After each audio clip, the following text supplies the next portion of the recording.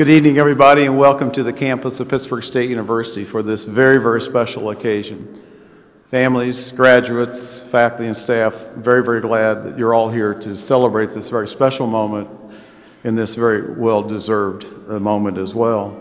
You know, from prospective student visits to Rumble to move-in day to family day, we love to see our families on this campus. We know you've been an important part of the journey of these graduates. And we hope that your interactions with Pittsburg State University have been very, very positive.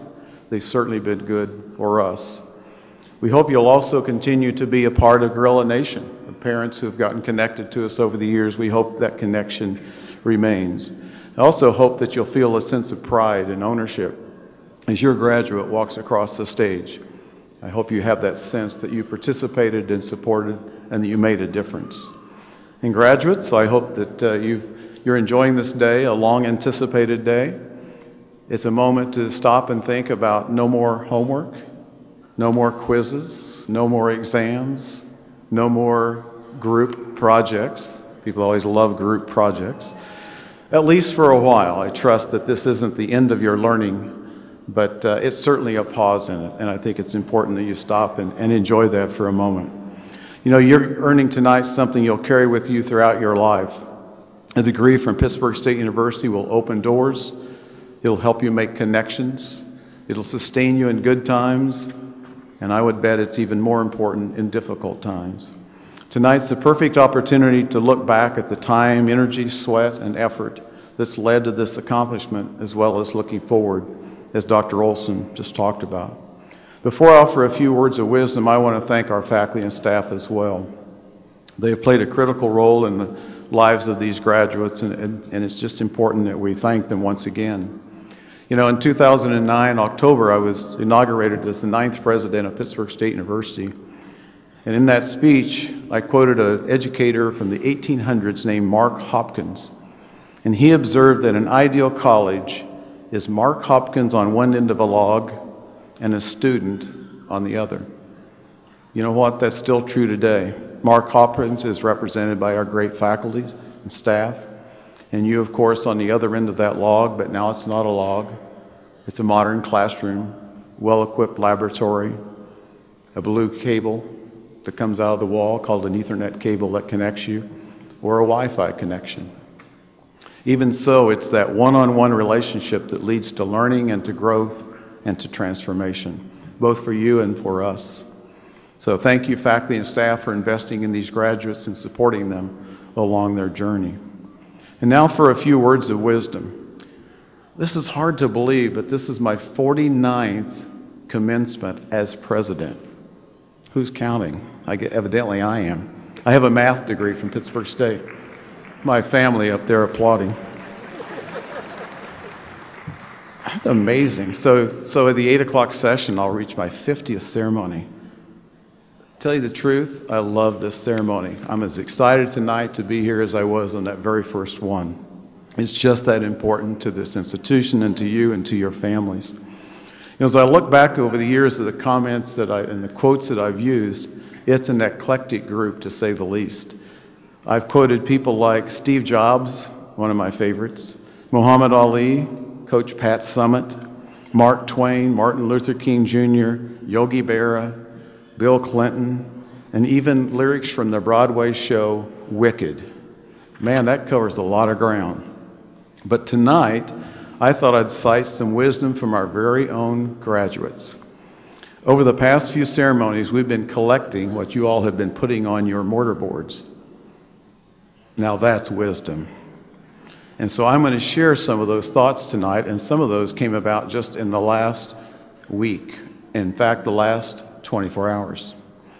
So here goes. Some of those comments on the top of your mortar boards are about the experience you just completed, like this one. Just did it. Well, the importance of that is that graduate is now working at Nike. Wow, that's pretty clever.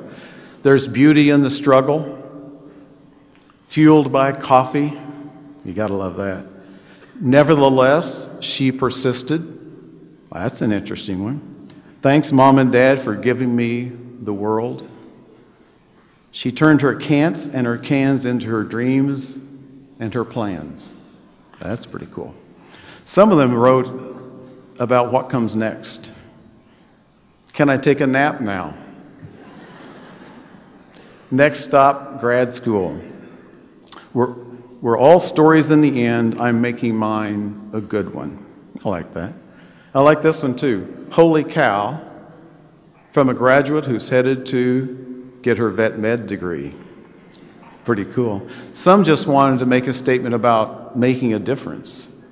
I teach, what's your superpower? Ooh, that's pretty good. It takes a big heart to help shape little minds. That's pretty cool too. And then some offered advice about life. Never grow up. I think I've mastered that one. In it for the outcome, not the income. Ooh, I like that. Be greater than average. That came from a math graduate, and she wrote a slick little equation that when you read it, it says B is greater than average. Very cool. Believe there is good. Megan Peabody, that was yours, right? A social work major at Pittsburg State University. And if you know Megan, believe there is good fits her exactly. We have to be the women we want our daughters to be. Like that. And of course, some of you just put letters on there that seem to make no sense. O A G A A G. Once a gorilla, always a gorilla. That's probably my favorite. Sorry, Megan, but that's an awesome one. So, speaking of our very own graduates and drawing inspiration from them, I hope you saw the article we just released this week about a young man named Luis Carlos Gonzalez Rodriguez. Tonight, he's completing his MBA degree. His journey has taken him from his home country of Venezuela to studying at Cambridge and now Pittsburg State University. His inspiration? His mother. Her name is Milagro. And in English, that means miracle. Wow, what a beautiful name.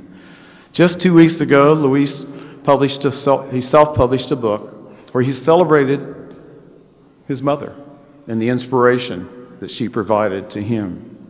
And he had a presentation on campus, and I heard a lot of good things about it. Entitled The Miracle of Life, it's a story of overcoming obstacles such as poverty and fear to achieve much through education, a lesson his mother had taught him.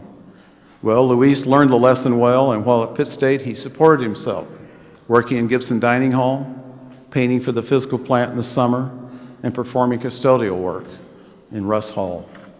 His bit of wisdom I want people to know that if you work hard, study hard, and don't give up, you can overcome challenges. Luis has certainly done that, and he offers us a wonderful example of the journeys represented in this class tonight. At this time, I'd ask Luis to stand and also his mother, who's joined us from Venezuela. Milagro, would you please join us and stand? And let's give them a round of applause.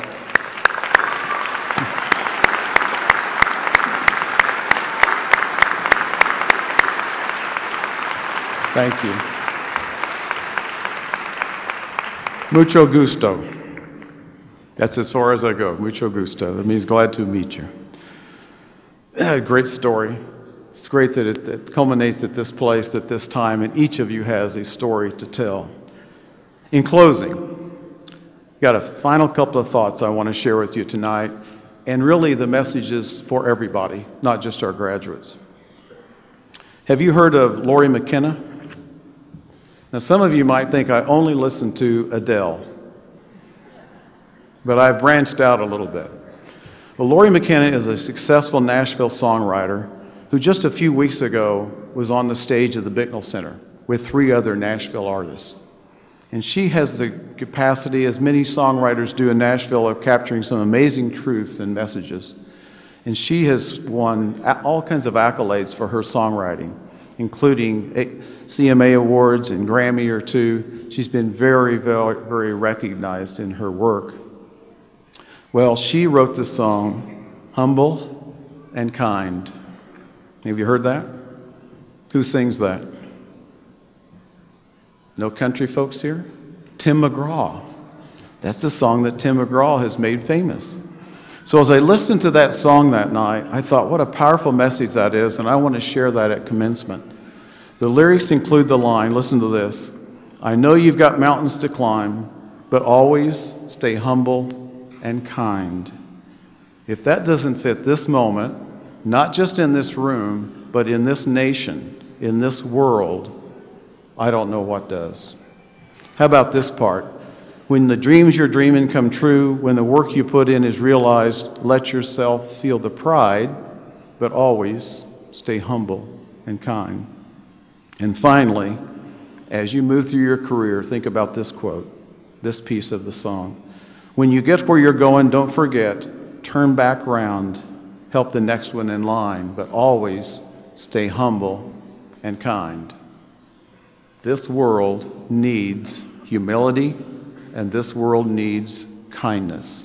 And I would say if you put those two characteristics with a Pittsburg State University degree, you will do well in this world and you'll make this world better. So, with that, I too offer my congratulations to the class of 2017. Let's give them another round of applause.